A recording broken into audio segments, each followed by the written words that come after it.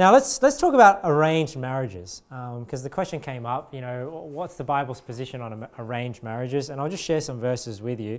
So I just want to compare, you know, a woman's consent in terms of her decision on who to marry uh, versus an arranged marriage where the father of the bride decides who the, the woman is going to marry.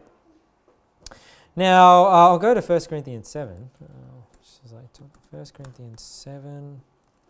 38. Now, if you if you search your if you have some Bible software and you just search the phrase, you know, gave, daughter, wife, um, you'll you'll see this phrase pop up again and again as you read through the Bible that this man gave his daughter to this other man to wife, and it comes up again and again. He gave his daughter to this man to wife, and the reason why the Bible uses those phrases is because in the Bible, a, a woman actually belongs to a man. You know, a daughter belongs to her father, a wife belongs to her husband. And that's why the Bible uses these phrases because um, this is the way the Bible sees uh, this relationship between a man and a woman. And you know, obviously, this is not popular these days, and, and I know it sounds bad, but you need to understand, just as we looked in Ephesians 5, that the wife is subject to the husband, there's that other side of the coin as well, where the husband is ought to love his wife sacrificially. And it's the same just because something belongs to you doesn't mean that you can just treat it how you like. You know, the Bible talks about servants. So there is this ability for somebody to sell themselves as a servant uh, rather than what we have now, where you can just declare bankruptcy and basically not pay the debt back. You know, the Bible has this mentality where you could actually sell yourself to be a servant and now you'll become somebody's property. Now, that does not mean that that servant could be treated however the master wanted. There were certain rules put in place of how you could treat a servant.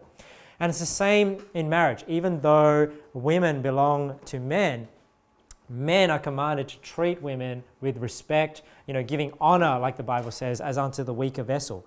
So you'll see this phrase come up again and again in the Old Testament that he gave his daughter to this man to wife. This, this, this idea that it's almost like it, it was the father's decision who to give his daughter to.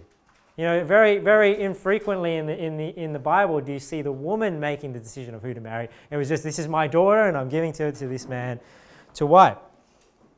And you, and you might say, well, that's just Old Testament, right? Uh, you know, Old Testament, just culturally, that's what they were like. And, and yes, obviously, it does come down to culture as well.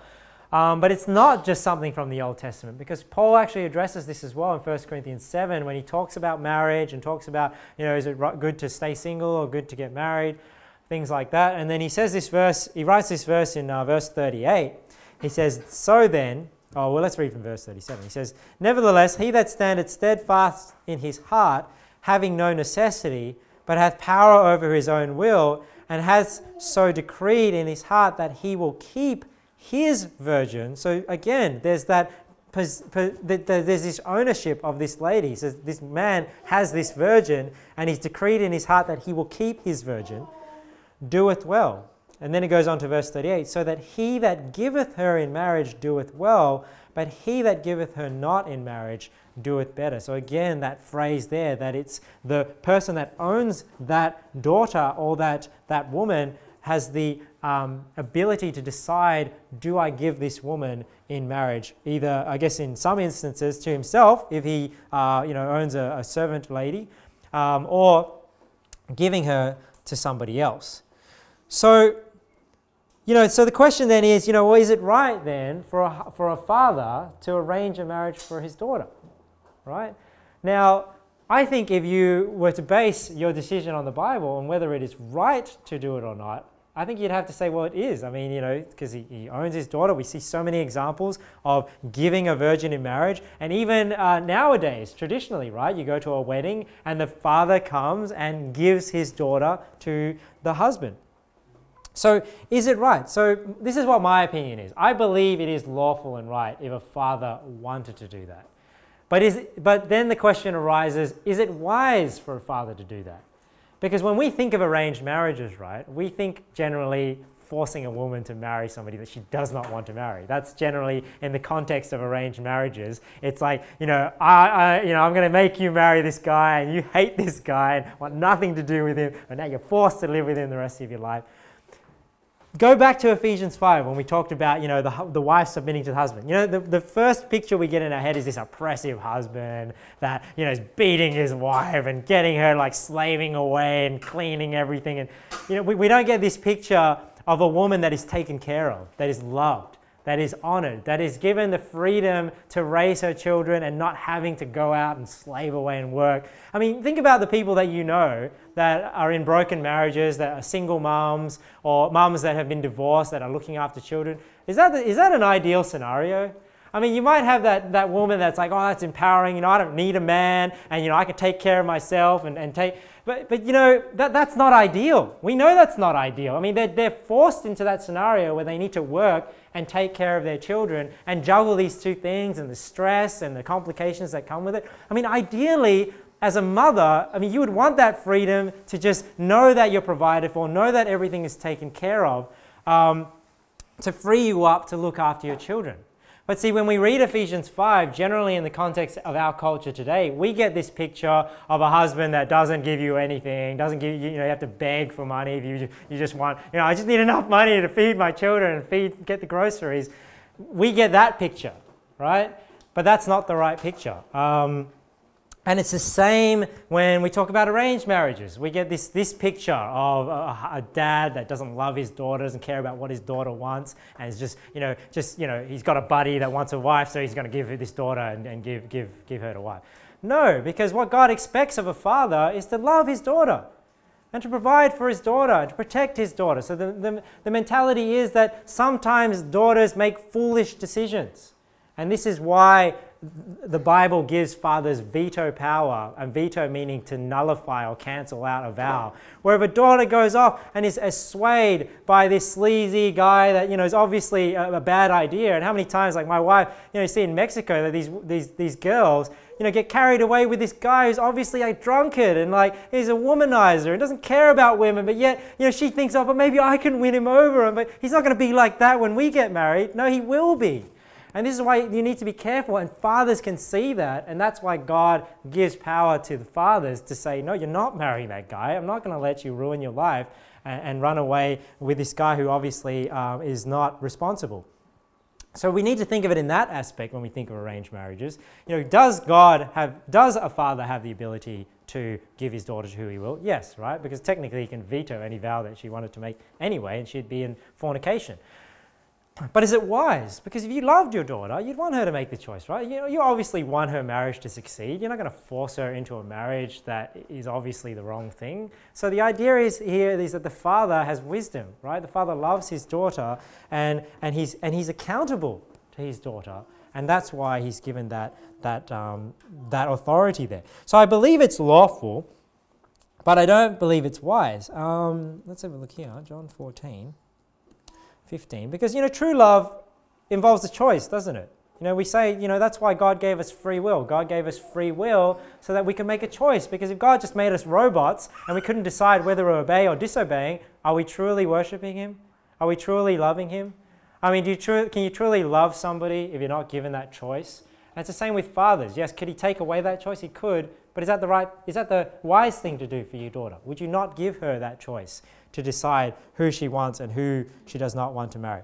Jesus says here in John 14, if you love me, if you love me. So there's a decision there. Do you love him? You can make that choice. If you love me, keep my commandments. So love um, entails a choice. And you know, even if, you know, in some cultures, you have arranged marriages where the, the, the daughter is not given the decision. So in that instance, what does the daughter do? Should the daughter just rebel and say like, no, you're not meant to give me the choice? I mean, technically, you know, you're, you're bound by that marriage if, if, the, if the father gives you to another man. And does that not mean you can't make that? You say, well, I don't have the choice. Well, you do have the choice because you can choose to love somebody even though you didn't decide that was the person you wanted to marry. Now that you're married to them, you can choose to love a husband that you've been given to against your wishes. Um, you know, in Genesis 24, when Isaac was, uh, Rebecca was um, given to Isaac, right? I mean, they didn't, they never even met each other. Never met each other. Rebecca comes from the far off land. He takes her, he's, he's, he's, um, he, they become husband and wife, and the Bible says that he loved her. So there is a, there is a way, it, it is possible for you to love somebody and make that decision to love them. You know, don't buy into this philosophy that love is this emotion. And is love an emotion? Yes. I'm not saying it isn't. But true love is a decision that you make. It's a decision of somebody you decide to commit to, it, and the feelings will then come. If you think love is only a feeling, then what happens when that feeling goes? And it will go. You know, for those of us who are married, you know that the feeling is not the same as when you first got married. I mean, the feeling goes, it, it's, there's ups and downs. But if you realize that marriage is a choice, it's a commitment that you make, even through the ups and downs, your marriage will continue because you're committed to that person, whether or not you have the feelings or not. You know, another example is, you know, God does not force us to be born again. You know, God did, did not force Adam to marry Eve. You know, he gave Adam the choice. So we can see that the way God operates, could God do that? Could God just say, you know, you're going to do this? He has the right to do that, right? But does he do it that way? No. So we can see from God's example that even though he has the authority to make decisions for us, he loves us and he gives us the choice. And I think we ought to do the same for our daughters. So if I love my daughter, wouldn't I want her to have the choice? I may just want to set boundaries, like in the beginning, um, and veto a foolish choice like God did with man in the beginning, a free will choice with boundaries. Um, let's look at the story of Rebecca.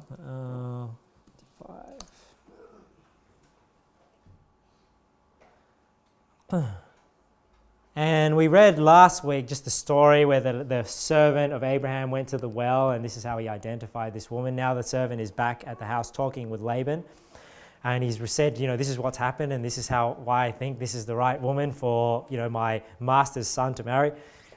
And we read here in verse 55, and her brother and her mother, so talking about Laban and Laban's mother, said, "Let the damsel abide with us a few days, and at least ten. After that, she shall go." So they're saying, "Hey, you know what? I, I think it's better if she stays with us, maybe ten days. Maybe she's you know she's saying goodbye. Let's uh, let's see her off." verse 56, and the servant says, And he said unto them, Hinder me not, hinder me not. So he's like, No, no, no, don't stop me from returning back. Seeing the Lord hath prospered my way, send me away that I may go to my master. Verse 57, And they said, We will call the damsel and inquire at her mouth. And they called Rebekah and said unto her, Wilt thou go with this man? And she said, I will go. And they sent away Rebekah their sister and her nurse and Abraham's servant and his men. So we do see an example in the Bible where Laban, I guess, I guess acting as authority, I'm not sure where the father is. I mean, maybe the father's out of the picture now. But acting in this role as, you know, trying to make the decision for his, for his sister and, and, and looking after his sister's well-being and, you know, wanting her to stay around and say, hey, you know, let's, let's see her off and let's, let's uh, you know, have her stay here for a bit because she's going to leave us. But ultimately, look, he does the, I think what he, he does here in this example is he does the loving thing and he says here, hey, why don't we ask Rebecca what she wants to do? So he calls Rebecca and says, Hey, Rebecca, do you want to do this? You know? So I do think Laban here in this example could have said, No, she's not going. Right? But he doesn't do that. He gives the choice to Rebecca and says, Rebecca, do you want to go with Abraham's servant and marry Isaac? And she says, Yes, I do want to go. And I think that's how we should be with our, with our daughters. We should give them that choice. Um, now, let me show you this principle in Numbers. And you can read the whole chapter of Numbers 30 if you want to just to show, to find out where I get this principle of a father being able to veto a vow um, or a husband being able to veto the vow of his wife. Um, but I just wanted to point out here Numbers 30, verse 9. It says here, But every vow of a widow and of her that is divorced, wherewith they have bound their souls, shall stand against her. So, in this chapter of women making vows, people making vows, and then it talks about women making vows and who can veto and who can't veto those vows, it makes this statement here that if you are a widow, meaning that your husband has died, or you're divorced, and and and um, you know there is the the saving for the cause of fornication. So if you're divorced lawfully, the woman that is divorced or is a widow can make vows without. She's no longer under the authority of a man, right? So there's this exception that if you have been widowed um, or you have been divorced, I also think, and I'll show you this verse soon, that if your father has died and you have no brothers, then you also um, are no longer under an authority of a man. So, in the case of death, basically, or divorce of your authority. Um, let's go here to 1 Corinthians 7, because there are two verses really um, that people go to to say, hey, a woman can decide who she wants to marry without the authority of her father or without the authority of, of, of another man. Um, and the two verses that really you have in the Bible where it shows a woman making a choice, and I just wanted to show you in the context of Numbers 39. Um, it says here, uh, we read verse 36 and 37 already, talking about a man giving his virgin. Uh, verse 38 So then he that giveth her in marriage doeth well, but he that giveth her not in marriage doeth better. The wife is bound by the law as long as her husband liveth.